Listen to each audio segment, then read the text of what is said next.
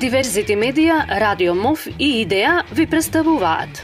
Дебатирањето менува. За демократија не може да се зборува ако нема дискусија, а за да има дискусија треба да имате слободни медиуми. Лица без документи, живот во нечовечки услови, без образование, граѓани од последен ред, ова е слика на 21. век на тлото на Европа. И не само во Македонија, ромите често се оставени сами на себе и во западните демократии. Борбата за себе ја водат тивко и се чини исклучиво во духот на Ганди. Дали тоа води некаде?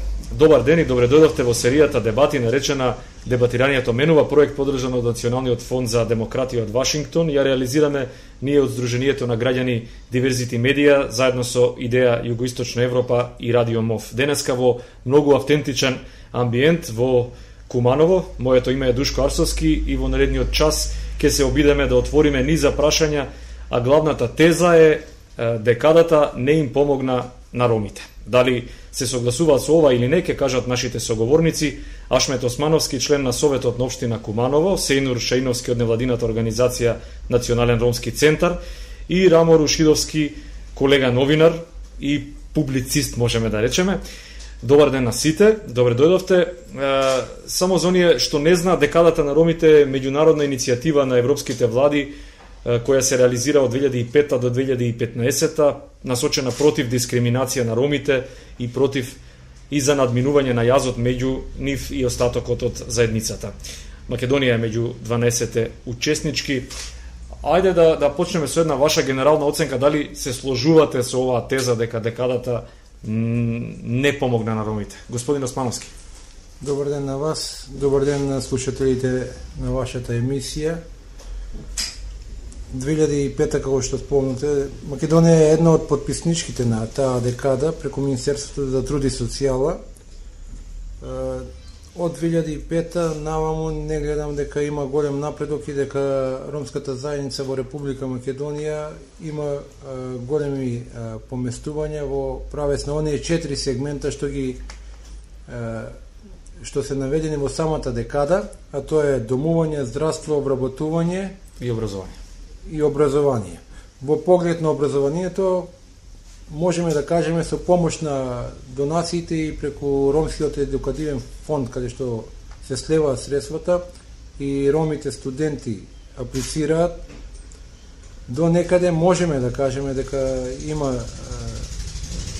има подобрување во образованието на ромите во самата држава, благодарение само на финансиите кои доаѓаат од надбор.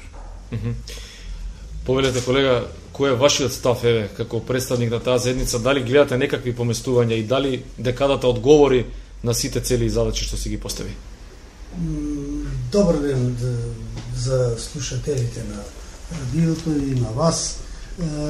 Како што Ашмет кажа, на вистина декадата не направи некој некој поместување во однос на совкупното унапредување на ромите, бидејќи целта на декадата е да се напредат условите за животот и напредок на ромите, или како што велат да се интегрираат ромите во обштеството. Малко е чудно зошто така се работи, бидејќи ако во едно обштество живеат одредени етнички групации, народи, тие се дел од тие држави и државите немаат интерес тие луѓе да останат надвор или да не кажам сегрегирани од општеството, што би биле товар на самото општество и е требало сукцесивно и прогресивно да се прифатат во тие општества и да бидат користни членови како за себе, така и за едница.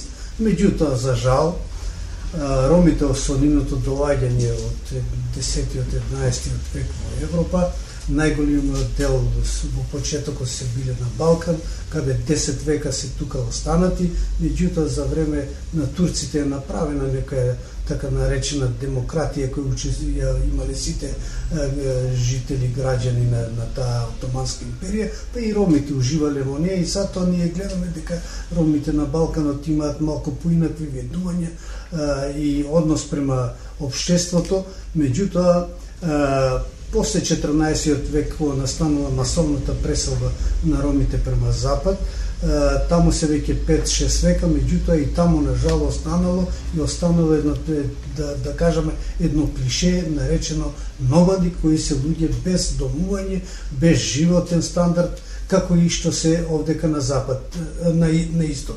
За жал, треба обшествата да сватат еднаш дека ромите се тука веќе како едно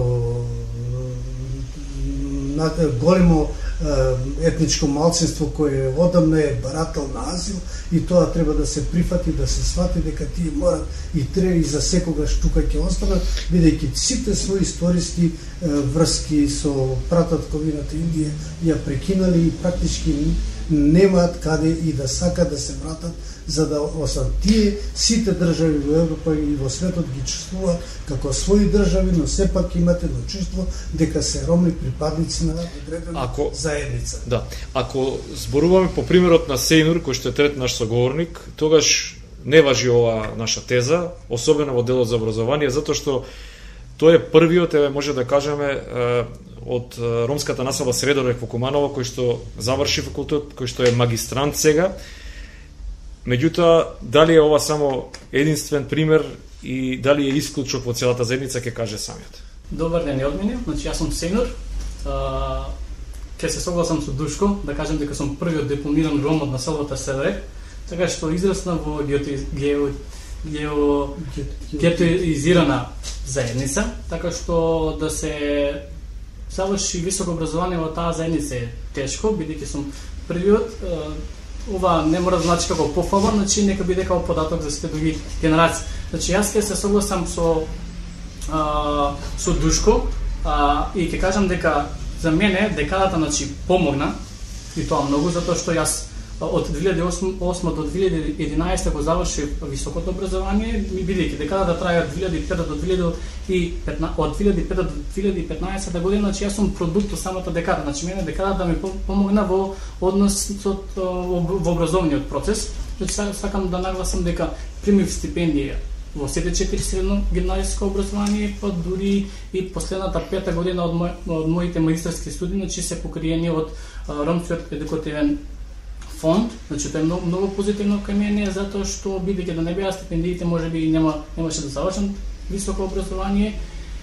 И тоа е тоа сакам да кажам дека голем дел придонесе самата декада. Кај мене иако не може на сите сегменти да одговори, но јас сум продукт од, mm -hmm. од, од Свесно почнавме со образованието затоа што во многу документи на државата се вели дека токму образованието е главниот извор на проблеми за ромската заедница затоа што се некомпетитивни на пазарот на труд и, и слично на тоа. А, дали во, во се сложувате со ова што го пишува во документите и дали на некој начин е, државата си бара оправдување за тоа што им се случува на ромите со еден ваков вакво оправдување. Не можем, не можем веднаш да се сложим со Сејнур дека дека тој е продукт на декада. Воопшто не можем да се сложим затоа што декадата е подпишана 2005 година, а и образованието требаше да имаме многу порано и дипломирани магистранти. Секој образование на овој на граѓани на оваа држава требаше државата да си ги да се потруди и околу оваа заедница без декада да има возможно образование и на ромската заедница. Меѓутоа факт е дека е во пораз бројката на запишани студенти. Тоа не не може да се негира, така? Пак е некој не е одраз на декадата, меѓутоа на средствата кои доаѓаат од надвор. Многу помалку средства им се доделуваат државни стипендии на на ромите кои студираат овде. Сакате да кажете се... квотите не функционираат за ромите на факултет? Дел функционираат, дел се и злоупотребени од неромите. Затоа што најлесно е да влезеш во, во тој дел на квота и да се декларираш као ром, папирот или хартијата трпи се, и така да се злоупотребуваат и, и квотите. А дали е тоа и вина на ромската заедница да биде погласна ако постојат вакви неправилности, да речеме да да биде да се дигне глас малку, да да се а, многу се малку, револт. Не, многу малку а, може да многу малку се слуша гласот на ромите. Затоа што не е проблемот во нашата интеграција, туку проблемот е што некој друг не сака да интегрира и не сака да го слуша да го слушне ромскиот глас. Дали се сложувате со ова во услови кога да речеме партнери во во власта, во сите владеачки гарнитури имало од политички партии на ромите? Каде е да, дефектот во тој случај? Видите што се сложам со Османовски, навистина е така дека се злоупотребува. Тој имаше и тоа јавно, јавно објавено, благодарение на медиумите на Македонија, иначе ромите никогаш не бе. Јас работев своевремено во телевизијата и побаравме од Универзитетот во Скопје да ни даде информации колку э, има э, роми запишано во квоти, во квотите кои се за нив предвидени, како секако што ти има и за власите, и за србите, и за другите малцинства, и за албанците во Македонија, меѓутоа тие не сака да ни ги дадат податоците на жалост, меѓутоа подосно мислам ми се чини од новинарот Кокалановски или тако нешто, така нешто имаше јас во книгата што ја напишал го имам цитирано, дека биле злоупотребани голем број дури на, на на економскиот факултет се запишале 60 студенти на, на име на малцинствата, на квотите на малцинства, злоупотребени. И во такви услови, каде вие можете да... И тоа биле луѓето, децата од луѓето на власт, замислете е стварно вистина злоупотреба. Па мене затоа и не ми е јасно зошто на пример не се користи тој инструмент. Ако цело време да. имаме имаат представници користи. ромската заедница во власта, да, зошто не, не се дигне не знаат, никој не нема податоци што се случува. Тие знаат дека нормално децата конкурираат, што за жал не е голем бројот на ромите. Ние сакаме да кажеме дека во една држава каде има одреден број популација која завршила одредено образование, меѓутоа и, и ромите ги има, меѓутоа тие од основно образование понатака многу тешко. Сега добро е што владата донесе закон до средно образование, тоа е позитивно, тие се опрзени да завршат средно, со тоа се овозможно дури тога децата ќе се осознаат да може да сватат дека образованието е главна алка за напредот на едно општество. Добро, не ми кажавте дали генерално сте задоволни од политичкиот ангажман што го што, откако сте еве во политиката. Што може лично да се пофалите дека сте постигнале за заедницата? Ако гледаме моето ангажирање, лично моето ангажирање, можам да кажам дека во првиот мандат мимо декадите, мимо државата, успеав да исконтактирам и да донесам некаде сума од 42.000 долари во локалната самоуправа, инвестиција, која е искористена за регулирање на речното корито во Куманово. Mm -hmm. Започнато е со регулирање затоа што Тоа е делот кај што имаше поплави, чисто поплавите, за да знаат луѓето. Поплавите да. се спречени да. благодарение на личното ангажирање со а, UNDP мислам дека странците mm -hmm. донира 42.000 долари, тука завршува приказката во инвестиции за подобрување на ромскиот досега. Досега. Многу интересен податок рече господинот Османовски дека невладиниот сектор не не постигна резултати, па затоа политички требал да се ангажира. Не, реков, дали дали не, не реков. До тука може да да завршат работа, mm -hmm. меѓутоа ако не си политички ангажиран, ако не си дел од власта, ако не, немаш влијание во законите, многу малку. Еве од позиција на невладин сектор да видиме дали дали е тоа така и дали и невладините мора да имаат политичка боја за да за да реализираат проекти. Па јас би кажал како невладин активист дека невладиниот сектор не мора да има политичка боја за да успее во сите проекти и активности што сака, што сака да што му се предвидени за работа. Така да а, нема да се согласам со господинот Османовски а, да, на тезата дека мора да си партиски определен за да успееш успееш во, во општеството или на некој друг начин. Значи од гледна точката на од гледна точка на невладината организација, значи имаше и, и то прво можеби ќе има низа на проекти каде што на некој начин ќе се зголеми и бројот бројот на еве ученици во образование може би и до прва организацијата ќе успее да вработи одредени одредени други невладени активисти или пак ќе ангажира волонтери со на некој начин да се интегрираат и тие во самото општество и а, можам да кажам дека а, самиот успех на една невладена организација докаде ќе достигне да да бидат самите роми инволвирани, че зависи од низ, низините од низа проекти Еве, на пример, конкретен проект во, пред, во предходно време е проектот а, Образованието е клуч понединото, значи или па клучате во вашите раце каде што е реализиран проект и тој проект значи успеал да да ја зголеми бројот на самите бројот на учениците во основно образование. Mm -hmm. Има ли подолба политичка во невладиниот сектор кај ромите? Па... Да речеме едни кои што се поблиски до владеачката ромска партија, другите кои што Тоа го немам уште согледано, бидејќи mm -hmm. во невладиниот сектор сум само една година, немам толку големо искуство, бидејќи mm -hmm. дипломирав во 2011, цел за 2012 сум невладин сектор и Uh, така да не сум го согледал тој тој податок. Уште малку за овој политички невладин uh, микс да речам. Така. Дали господин Османовски гледате потенцијал во луѓето кои што работат во невладиниот сектор кои што би можеле и политички да се ангажираат за да остварат некои цели за ромската заедница. Дали дали се од, од корист да речам Не, во таа смисла политички? Можеме да да признаеме дека невладиниот сектор е во постојан контакт со местното население, со луѓето, со ромите. По некои своји проекти кои ги добиваат. Uh -huh. Меѓутоа, невладиниот сектор колку ромската заедница има бенефит од сите тие проекти, има и штета кога зборам на некоја штета, ќе кажеме дека сето она што го работи невладиниот сектор треба да се го работи државата и да се го работи општината.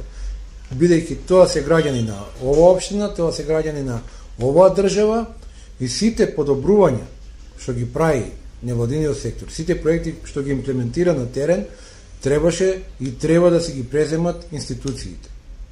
Државата, затоа што тоа се граѓани на оваа држава. Од која причина државата не би го правела ова? Што мислите, господине да Ешиловски? Што е на работа. Ние 89-90 доживевме промена на системот, во демократија. Меѓутоа, кога стана збор за демократија на ромите, тоа е, да ви кажам, обично клише. Нема тука ништо. Ромите не ја чувствуваат таа демократија Сега А ромската населба да речеме единствено со кој што Македонија многу често знае да се пофали, да. нели е тоа некој демократски достран? А видите што во книгите и во јавноста се се пишува, меѓутоа на терен треба тоа да се провери. Добро е што према новите сознанија, мислам да современи, дека во општеството треба да постои во, во западното цивилно општество и демократско кое веќе доста етаблирано, тамо постојат исто невладини организации, меѓутоа тие невладини организации вршат притисок и на тие влади за да се подобрат одредени услови било од потребите на граѓаните или од интересот на поединци и што ти ја знам одредени групации, тоа требаше и невладиниот сектор како на другите етноси, така и ромскиот да врши притисок врз за да се подобрат условите на ромите, а не тие да преземат улога на државата, тие да, да, да, да, да помагаат. Тие не се финансиери, ните располага со даноци на граѓаните, нити што не. Еве, аде ќе се спуштиме на пониско ниво. Имаме да. ромска општина, единствена да, во Европа. Да, Македонија често се фали. Да, Дали мислите дека е тоа успех некаков демократски? Ако знаете ако што, не е зошто не е затоа што па таму Знаете што да ви кажам? Малку ќе звучи, ја знам да разговарам со луѓето и тие во одредени демагошки причини зборуваат друго. Зошто настана таа наслоба ромска таму? Затоа што се направи сегрегација. Ги спркаа ромите во тој дел на, на Шутка денеска, позната во Шутка Рисари, за да не бидат близко во, во, во центарот на градот, меѓу другите, ги одвои. Ама што направи? Ја остави ја, одите ми во Шутка да видите во еден дел на насамба, дека тамо, она што беше од 63-та донирано, се уште луѓето живеат во тие примитивни бараки, каде да се во тотално нехигиенски услови. Па погледнете другиот дел што отидоа наши гајстарбајтери во странство, па во предниот дел направија убеви згради и зданија кои се уште се тамо, на тука па бидејќи ромите каде живеат, тие држави си ги чувствува како своји матешни држави. Без оглед што некои кажуваат тие се странци, оно, меѓутоа ние каде живееме, тие држави си ги чуваме како, али имаме едно чувство дека сме сите роми. И тука е работата, значи, они убави зданија ги направи они кои имат материјални средства, а сето друго таму исто ренуирано, ништо не не не е доградено. Ама нели е тоа пораз са... пораз на самата заедница затоа што гласа градоначалникот што би требало нешто да смени, така? Погледнете го стандардот на Шуто Оризар и погледнете ги другите насел. Таму се има овдека нема една клацкалица за деца скоро се фала таму со некој игралиште и што тоа ќе го остава така, но немало за, за година дена тоа ќе се распадне, ништо нема да има тоа. Сакате да кажете државата инвестира во другите општини, Па, а нормално се да инвестира треба и таму да се инвестира ли во. Куманово, еве да речеме, државата? Сега малку специфичен случај бидејќи опозицијата е овде на власт условно речено. Еве во делот на, на, на, на, на ромската населба, не мора, не мора генерално во Куманово. Во Куманово, не знам дали од политички поводи, дали од политички реваншизам, во Куманово не само за многу малку или воопшто, можам да кажам дека ниту државата, ниту локалната самоуправа не инвестира кај ромите. Разговараме за тезата дека декадата не им помогна на ромите. Со нас е Ашмет Османовски, член на Советот на Обштина Куманово, Сејн Рушиновски од невладината организација Национален ромски центар и Рамо Рушидовски, колега новинар. Во овој последен дел само за достапноста на некои современи работи што се нормални да речеме во 21 век. Тоа се пред се комуникацијските средства, медиумите. Колку а, ромите имаат пристап до до програма на свој јазик, колку во тој сегмент можат да се да се изразат на, на својот јазик. Ајде политички прво е. Поверете господине Смански. Ако говориме за, за ромите во Куманово, во моментот на, на, таа, на, таа, на тоа прашање, можам да ви кажеме нула. Немаме никаква пишана медиум, немаме е, термини на, на радио, немаме термини на телевизија. Морам да ви кажам дека јас сите поминаа низ една локална телевизија таму, јас како ром немам а, повеќе од две години не сум повика ниту како советник, ниту, ни, ниту како ром во тие нивни емисии. Што е причината, не знам, али најверојатно и тука некој а, диктира и тука некој а, ја дискриминира ова ромска заедница. Добро, и генерално сликата не е баш најдобра во медиумите во Куманово, медиум- има една криза да речеме Да, медиумска. меѓутоа функционира два, е, два-три медиума во во Скопје. Господине Рушиловски, вие еве генерално како гледате на, на тој Па видите дали е проблем? Да, Е. видите што ние во, во уште во за време на комунизмот имаше барање од од ромската заедница да се даде радио на ромски јазик што уставот го припишуваше прачем од тоа време, кој и денеска го припишува и и телевизиска програма. Тоа кога почна распадот на на Југославија се дозволи да се воведе на македонско радио програма на ромски јазик од половина час два пати неделно, нели мислам дека и денес не екзистира, меѓутоа слабо е чуена и така нели не не, не направи некој прогрес и ромската програма нели половина час што ја има биандипе на македонската рака, каде јас бев таму со работник од еден период И ви кажувам дека да, таа програма беше два пати неделно по половина час, сега мислам дека е три пати неделно, меѓутоа таа програма како да не постои, дадена е во тој термин кога луѓето с некои одредени активности се. Не се во, во, во тој период кога луѓето се дома, па сака да гледат. Ако тие дадат во два и пол или два часот, вие немате шанса да гледате, нели?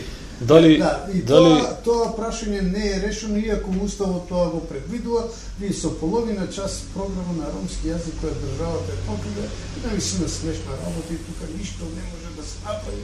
Е, младите генерации да кажат, дали Сенур тебе ти недостасува програма на ромски јазик на радио, на телевизија или тоа на некој друг начин го Па, надополнуваш? Сега дека ми недостасува, прво на локално ниво, значи го што рече господин Османовски, значи немаме ни радио ни телевизија, за разлика од Шоторизели каде што има и, ми, има тоа во ред приватни, но сега се во Куманово нема немаме ни такви. Нема нема такви. Значи, кога имам потреба од, од радио или или ТВ на ромски, некој програм на ромски јазик, не можам да најдам.